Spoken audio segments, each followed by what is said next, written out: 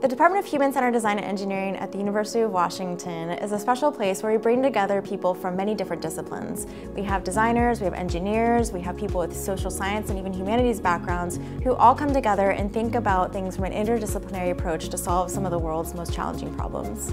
The mission of HCDE is first and foremost to build possibility and do that through the creation of intersections through multiple fields of engineering. And we believe by doing this that we can develop and design and build a just future. Human-centered engineering is the intersection of where people and technology come together. Human-centered engineering is not necessarily one single discipline, but it's a variety of different disciplines that can manifest in mechanical or electrical, civil, environmental, all these different practices of engineering ultimately are concerned about how people engage with the world and with the engineered solutions that we're building.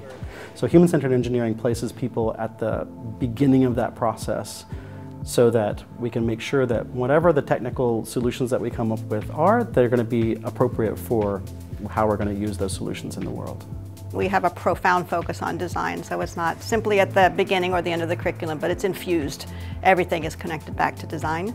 Uh, we have a dramatic use of studio pedagogy, so students are in classes engaging, they're not hearing theory and then going off after class to figure out how to apply it, but they're actually working with each other, practicing talking as professionals, not just doing the work.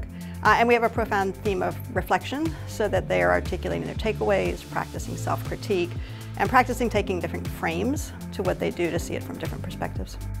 My work in HCDE centers on design. So my scholarship is on design, trying to figure out how people engage in design processes. And my teaching is on design. I teach courses on design and how to be an effective team member. My scholarship, also working with students, is really focused on how to help students be engaged, reflective designers. And I do that multiple ways. I do that by having students engage in design processes, but also in making their own invisible design process visible. And we've done that through using art and reflection and over and over engagement in design processes where people get to dive deeply into themselves as designers.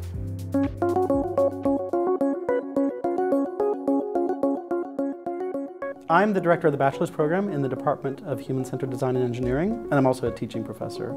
And my work is about educating our students to be ready to take on the world's challenging problems. One of the things we do is we try to stay on top of all the most current research about the best approaches to teaching and learning so that we can serve our students better. My lab is called Machine Agency, and we focus on the precision of machines, or the, the precision that you get from automation and, and being able to computer control processes, and how to use that precision for the creativity of individuals who are pursuing low volume workflows and other kinds of processes. I very much emphasize the hands-on aspect and access to technology and uh, really get students engaged in physical processes that can be controlled through computers. I did three years of the HCDE bachelor's program graduated a little bit early and went straight into the PhD program here. And now I'm a second year student and it's been amazing. I mean, there's a reason why I chose the PhD program here because I had such a great experience in the undergraduate program and I knew that in the PhD program I would be teaching and I love the idea of teaching the same classes that I really enjoyed as an undergraduate student. What I really love working in HCDE, uh, two things come to mind. One is that everyone is just very inspiring from the faculty to the staff to the students. The excitement, the energy around the program, the chance to affect people's lives through our work. And then a second thing I really love is that in addition to doing things, in addition to using design methods to solve other problems, we actually invent a lot of ways to do our own work. So it's not just inventing for others, but there's just a fun theme of inventing here in the department as well. We're really excited about the future of engineering and what our department is doing to support that.